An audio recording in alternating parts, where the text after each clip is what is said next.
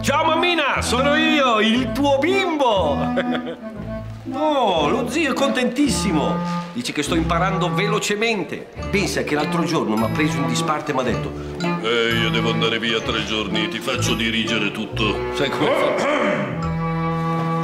Birra Moretti, sincera per tradizione. C'è un camion d'orzo da scaricare, caro. Mammi, devo andare. C'ho un consiglio d'amministrazione. All'aperto.